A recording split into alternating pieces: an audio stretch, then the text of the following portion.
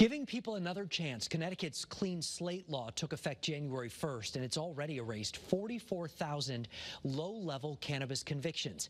Our chief political reporter, Susan Raff, is live right now at the state capitol with a closer look at what all this means for those involved. Susan?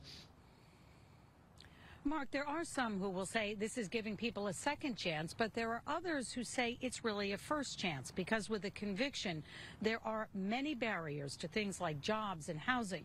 And the hope is that the Clean Slate Bill will allow people the opportunity to move forward with their lives.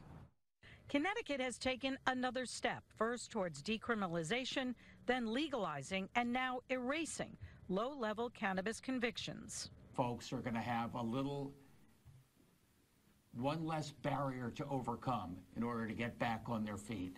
Governor Lamont was at the Greater Hartford Reentry Welcome Center, where inmates released from prison get help finding a job and housing. Senator Gary Winfield pushed for the clean slate law. Many of us have done things that if we had been in a slightly different situation, somebody would have recognized that thing we did and we wouldn't be standing here doing the great things we're doing today. Has nothing to do with who we are today. Winfield says once incarcerated, that person is always treated as a criminal.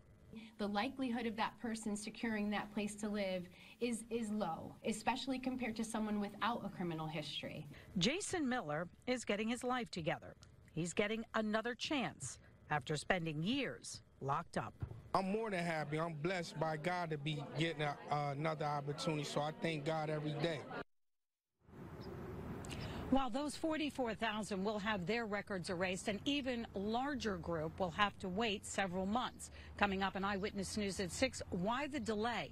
And a community leader shares his thoughts on what this will mean for his community. We are live at the state capitol in Hartford. Susan Raff, Channel 3, Eyewitness News.